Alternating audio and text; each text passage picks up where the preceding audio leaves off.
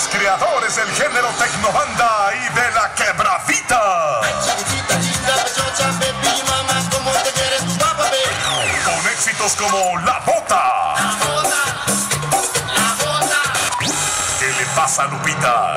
¿Qué le pasa Lupita? No sé, ¿qué le pasa Lupita? Entre muchos más que son conocidos a nivel mundial.